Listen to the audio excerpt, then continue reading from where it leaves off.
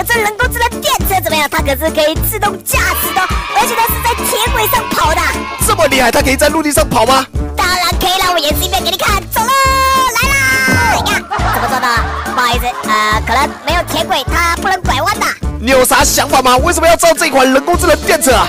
当然是为了取代我们乐高城的火车啦！你没发现我们乐高城的火车的很厉害的吗？那我给他感受一下，准备好来了，启动，走啦！它的速度会很快吗？哟，这么快的吗？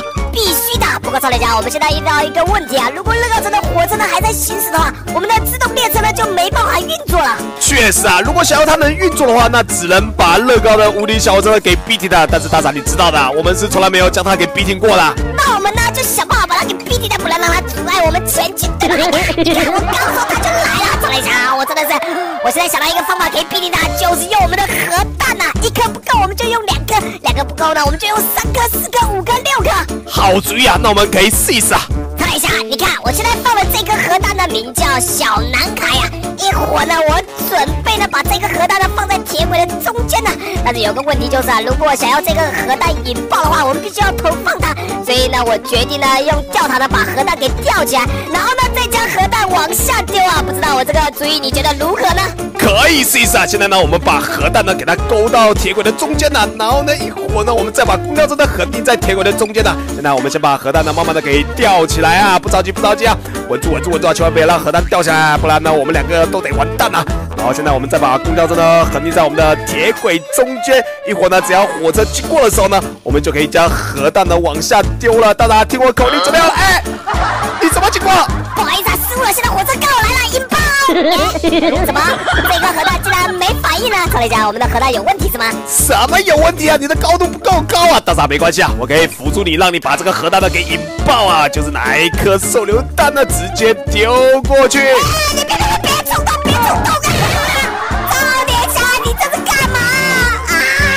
我都被炸飞了，我真的不理解你到底是怎么想我只是想试一下这个核弹呢到底有没有这个威力啊！大傻，你刚才不是说了吗？一颗核弹不够呢，我们就放上六颗核弹呢、那接下来呢，我们就直接放上六颗核弹吧。再来一下，六颗核弹呢，我们已经准备好了，好激动啊！没有试过六颗核弹呢来阻止无敌小火车了，我相信呢，今天无敌小火车肯定会被逼停的。最好是啊，不过呢，我们还是呢要将我们的核弹呢给它吊起来啊！一会儿呢，只要其中一颗核弹的引爆，那么后面几颗核弹呢都会引爆的。可以啊，那我现在呢就在上面放钩子啊，你一个一个的把核弹呢给勾住。没问题啊，不过这难度呢有点小高啊！哎呀呀呀呀！核弹别倒，别倒，别倒，别倒，别倒，别倒，勾住，勾住！好的，好的，好的！哎呀，那个没勾住，那个没勾住，别爆！我去啊，他差点就要爆了！超雷侠，你你你还是要注意一点呢。一会儿呢，可能呢这个核弹呢必须要用手榴弹或者 RPG 火箭筒才行啊。我一会儿呢直接用 RPG 火箭筒吧，它打的比较远啊，而且威力呢还更强啊！那我就用手榴弹吧。我现在把手榴弹准备好，顺便把衣服脱下。大傻，你脱衣服干嘛？我脱衣服一会儿好跑啊。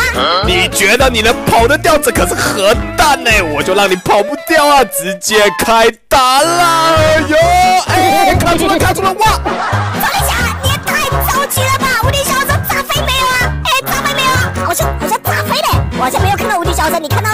哎，实在抱歉了，我刚才看到无敌小火车呢，在核弹爆炸的瞬间的时候呢，往边上慢慢的驶过去，慢悠悠的，还是跟之前一样啊，很顺其自然的，没有把它给炸飞啊。好吧，那我们毕竟无敌小火车的挑战呢又失败了。再来一下，那我们的人工智能计划呢也就只能告一段落了。下一次呢，我们再来试一试吧。好吧，那本期的游戏解说呢到此结束啊，我是超李侠，喜欢我的解说记得点赞加关注哦，让我们下一期再见吧，拜拜。